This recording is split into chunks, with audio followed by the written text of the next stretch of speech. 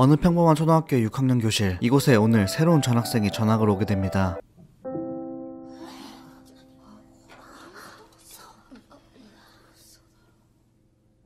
그녀의 이름은 니시미야 쇼코. 니시미야는 청각장애인입니다. 귀가 들리지 않기 때문에 말을 못하는 니시미야는 공책에 미리 한자 한자 정성스레 적어온 자기소개말로 인사를 나누는데요. 긴장되는 자기소개 시간이 끝나고 쉬는 시간 반 학생들은 자연스레 니시미야에게 모여들기 시작합니다. 니시미야와 친해지고 싶은지 몇몇 친구들은 필담으로 니시미야와 이야기를 나누는데요. 그런 착한 친구들이 있는 반면 西宮さんって日本語喋れるのもうなおちゃん言い方 저 싸가지 없는 새끼 하지만 저런 비아냥대는 말들을 듣지 못하는 니시미야는 싸가지에게 이렇게 답합니다.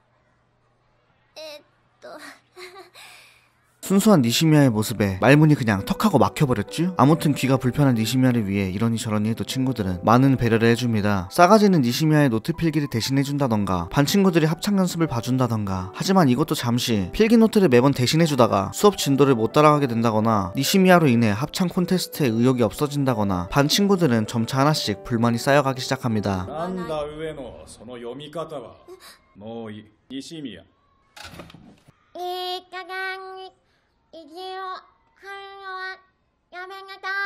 싸가지는 선생님이 자기만 뭐라 하고 니시미야에게는 항상 잘했다고만 하는 것에 점점 불만을 느끼기 시작하는데요. 아니 근데 굳이 니시미야에게 일기를 시켜야 되나? 참 어려운 것 같습니다. 귀가 들리지 않기 때문에 어눌하게 말하는 니시미야. 그런 니시미야를 놀리기라도 하듯 따라하는 한 남학생.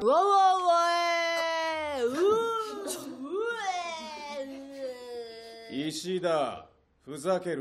시간이 조금 더 흘러가고 동정심 때문에 니시미야를 돌봐주던 아이들은 하나씩 떠나가고 다른 친구들은 니시미야가 공책으로 이야기하려고 해도 귀찮아할 뿐이었습니다. 그렇게 덩그라니 혼자 남겨지게 된 니시미야. 그런 니시미야에게 읽기 시간에 니시미야를 놀렸던 장난기 많은 이시다가 말을 겁니다. 이시다는 니시미야에게 눈치 있게 굴지 않으면 애들이 짜증낼 거라는 조언 아닌 개 같은 조언을 해주는데요. 당연히 그 말들도 니시미야에게는 들리지 않았습니다.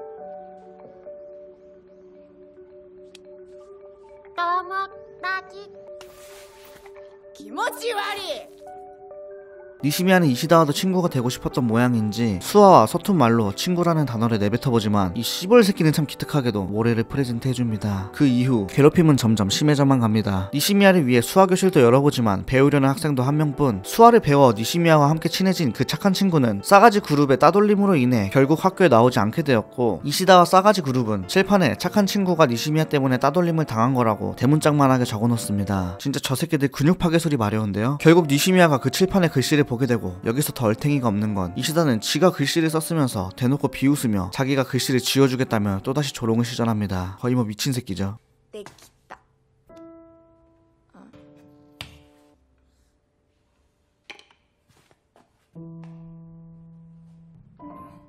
그 어떤 짓을 해도 착하게 순수하게 반응하는 니시미야. 그런 니시미야를 괴롭히는 것은 이제 이시다의 일상이 되어버립니다. 청력을 보조해주기 위해 보청기를 끼고 있는 귀에 소리를 지른다거나 이제는 아예 니시미야의 보청기를 빼서 더럽다면서 창밖에 던져버린다거나 호스로 물을 뿌린다거나 아주 그냥 망나니 새끼들이 따로 없습니다. 그냥 일렬로 세워놓고 병력이 썸 갈겨도 아무 소리도 못할 정도인데요. 그렇게 괴롭힘이 이어지던 어느 날 이시다는 결국 일을 내버리고 맙니다.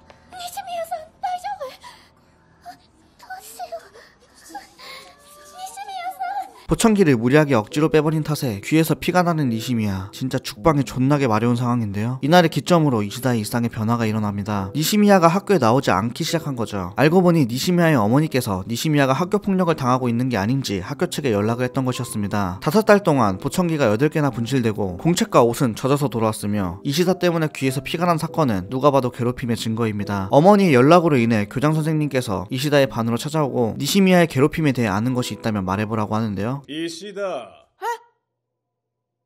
なあお前だろうが。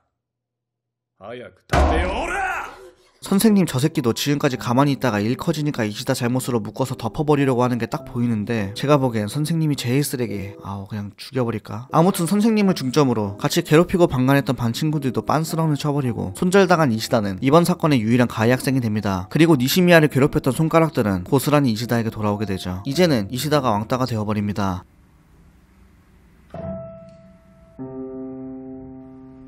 지금 와서 후회해도 이미 너무나 늦어버린 일. 이 시다는 괴롭힘 당하는 게 이제는 익숙해져 버렸는데요. 그러던 어느 날 오늘도 젖어서 집으로 돌아가려는 이시다는 가방을 가지러 교실에 잠시 들리게 되는데 교실 안에는 언제 왔는지 이시다의 책상에서 무언가를 하는 니시미야가 있었습니다.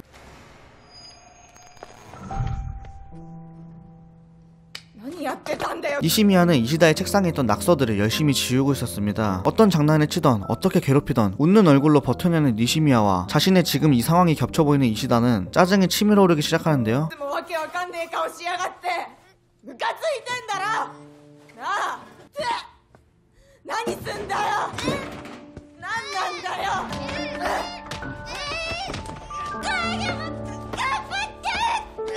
발음이 어눌했지만 분명 이시다도 똑똑히 들었습니다. 니시미야는 처음으로 이시다에게 자기도 열심히 하고 있는 거라며 화를 냈고 그 말의 마지막으로 니시미야는 전학을 가게 됩니다. 그렇게 얼마나 시간이 흘렀을까요? 어느새 이시다는 고등학생이 되고 계속되는 괴롭힘에 자연스레 대인기피증까지 생겨버립니다. 이시다는 아예 다른 사람과 소통을 안 하려고 하는데 그렇게 다른 사람들 얼굴에는 X차가 쳐져 있죠. 이시다는 무의미한 나날들과 과거의 자신의 행동에 대한 죄책감으로 결국 자살을 결심하게 되는데요. 하지만 그 전에 누군가를 만나러 갑니다.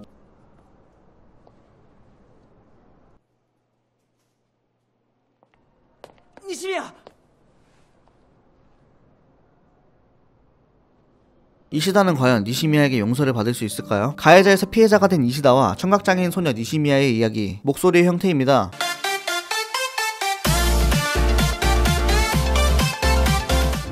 목소리 형태는 감동 드라마 장르의 극장판 애니메이션인데요. 제가 극장판 애니메이션 이렇게 애니 추천으로 다루기는 또 처음인데 목소리 형태는 개봉 당시 영화관에 가서 두 번 보고 두 번 다 울었을 정도로 굉장히 감동적인 작품입니다. 대본을 쓰다가도 눈물을 몇 번 훔쳤을 정도니까요. 절대 제가 찌질이라 그런 게 아닙니다. 제가 오늘 소개시켜드린 부분은 영화의 극 일부로 이 부분만 보면 이시다가 걔 망나니 새끼라고 생각하실 텐데요. 맞습니다. 걔 망나니 새끼입니다. 그래도 마음을 고쳐먹고 니시미야에게 목숨까지 바칠 각오로 노력하는 이시다를 보며 또 상냥한 성격의 귀여운 니시미야를 보면 감동을 안 먹을 수가 없습니다. 담고 있는 메시지가 너무 좋아요. 거기에 Q&A의 감성 오져버리는 작화와 잔잔한 피아노 OST 정말 감성 한 바가지 부어버린 수준입니다. 이시다가 대인기피증을 점차 치료해 나가면서 얼굴에 X자가 떼어져가는 장면이나 연출도 굉장히 좋았고요. 원작 만화책도 7권으로 깔끔하게 완결이 나니까요. 애니메이션을 보고 만화책까지 꼭 보시는 걸 추천드리겠습니다. 아이코가 부른 목소리 형태 OST 사랑을 한 것은도 한 번은 꼭 들어보세요. 아주 그냥 너무나도 애절해버립니다. 간만에 감성적인 작품을 보고 싶다 하시는 분들 감동적이고 잔잔한 애니메이션 찾고 계신 분들에게 극장판 애니메이션 목소리 형태를 강력하게 추천드리겠습니다. 오늘도 영상이 재밌으셨다면 좋아요, 구독, 알림까지 부탁드립니다.